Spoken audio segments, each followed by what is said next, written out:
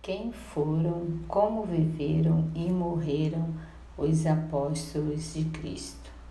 A forma como morreram os doze apóstolos de Cristo nem sempre está clara para os estudiosos da religião. Há relatos orais do que pode ter acontecido com cada um deles, mas poucos documentos comprovam que teria ocorrido aos homens que seguiam Jesus de Nazaré. Os apóstolos deixaram a vida pessoal e os trabalhos de lado para se juntar a Jesus durante a sua missão em vida. Com a morte de Cristo, eles deram continuidade à tarefa de pregar o Evangelho. Vamos descobrir agora como foi a vida de cada religioso até a sua morte. Quem foram os, dois, os doze apóstolos de Cristo? Os apóstolos de Cristo foram Pedro, que significa pedra, André, que significa homem forte, viril. João, que significa o Senhor é misericordioso. Felipe, que significa amigo dos cavalos. Bartolomeu, que significa filho de Ptolomeu. Mateus, que significa presente de Deus. Tomé significa gêmeo. E Simão, que significa aquele que ouve a Deus. Os quatro últimos têm grupos de dois nomes iguais são Tiago maior e menor, significa sustentado pelo calcanhar, e Judas Tadeu e Iscariote, que significam abençoados. Após a morte de Jesus, os doze apóstolos peregrinaram por lugares diversos. Como viveram os doze apóstolos de Cristo? Como morreram os dois apóstolos de Cristo? Pedro Pedro era o mais velho dos apóstolos e aquele a quem Jesus claramente lhe deu algum tipo de, de liderança. Após a morte de Cristo, foi Pedro quem conduziu a missão entre os que ficaram. Seu trabalho missionário perdurou até o dia em que ele foi morto, 68 anos depois do nascimento de Cristo. O apóstolo ainda continuou sua missão por mais 35 anos depois que Jesus foi morto e sua morte se assemelhou a dele na forma como aconteceu. Diz a tradição que ele foi morto crucificado em Roma, porém teria pedido para ficar de cabeça para baixo para não se assemelhar ao seu mestre. André. André era irmão de Pedro, também pescador. Antes de conhecer a Cristo, ele já era seguidor de João Batista, mas não titubeou quando conheceu o Messias e logo juntou-se a ele. A tradição revela que André também foi muito torturado antes de ir para a cruz na Grécia. Ele estaria em missão na província de Acaia, onde foi crucificado, só que desta vez por uma cruz em formato de X. Seus restos mortais foram encontrados séculos depois e levados para a Escócia pelo mar, onde o barco teria naufragado. Por isso, até hoje existe uma ilha chamada de Santo André. João. João era o discípulo mais jovem que Cristo tinha.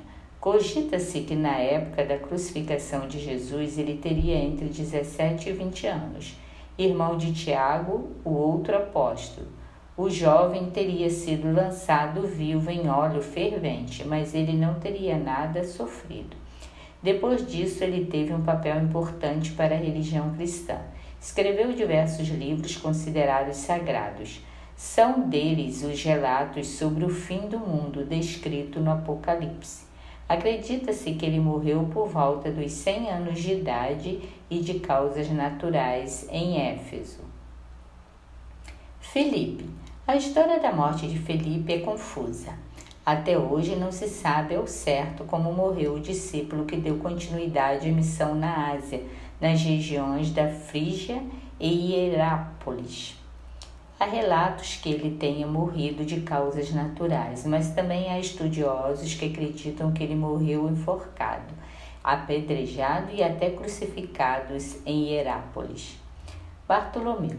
Bartolomeu teria exercido a sua missão em Anatólia Etiópia, Armênia, Índia e Mesopotâmia.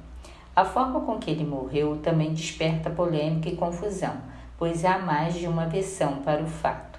A tradição da Igreja Católica afirma que ele foi posto vivo em um saco e lançado ao mar, depois de ser açoitado. Há outra informação que afirma que ele também teria sido crucificado. Mateus. Relatos dão conta de que Mateus teria continuado sua missão no lugar onde viveu com Cristo.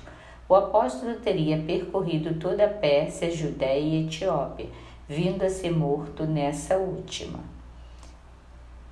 A causa de sua morte teria sido em decorrência de um ferimento de espada. Mas também há quem acredita que o ex-cobrador de impostos que foi convocado por Jesus teria falecido de causas naturais. Seu túmulo se encontra em Salerno, cidade italiana. Tomé. Após a morte de Jesus, o apóstolo que ganhou destaque nos relatos bíblicos por pedir para tocar em Cristo após a sua ressurreição e virou sinônimo de ver para crer, saiu em missão pela Índia. Há relatos que dizem que ele morreu a flechadas durante suas orações e sua morte teria sido encomendada pelo rei de Milapura, na cidade indiana de Madras, no ano 53 depois de Cristo. Simão. Simão é um dos apóstolos pouco retratado nos relatos bíblicos. Por isso, tudo o que se sabe dele é pura especulação, inclusive a sua morte. Alguns contam que ele havia sido morto em Roma durante um massacre nos 70 no ano 70 depois de Cristo. Tiago Maior. O pescador que tornou-se apóstolo, Tiago Maior, tem a sua morte relatada de fontes mais confiáveis. Ele teria sido morto pouco mais de dez anos depois que Cristo. Ele foi decapitado em Jerusalém na mesma ocasião em que Pedro foi preso. Foi Tiago, o primeiro discípulo a morrer em nome da causa cristã. Séculos depois, ele se tornou patrono da Espanha.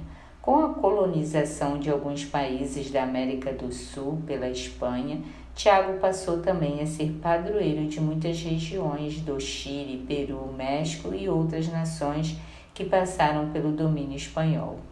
Tiago Menor. Há dois relatos das causas de morte de Tiago. O primeiro diz que ele foi crucificado, assim como Jesus no Egito no ano de 62 depois de Cristo. O apóstolo tornou-se missionário na Palestina e no, e no país onde foi morto.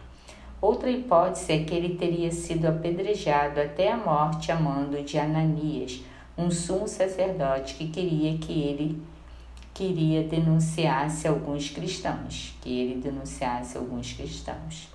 Judas Tadeu depois da morte de Cristo, Judas escreveu uma das cartas presentes no Novo Testamento. São as chamadas Cartas de Judas. Ele teria seguido a sua missão depois da morte do Mestre e pregado na Mesopotâmia, Arábia, Síria e Pérsia.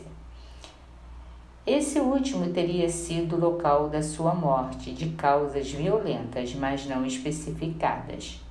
Judas Iscariote é a única morte de um apóstolo que é relatada biblicamente. Judas Iscariote se enforcou após trair Jesus por algumas moedas.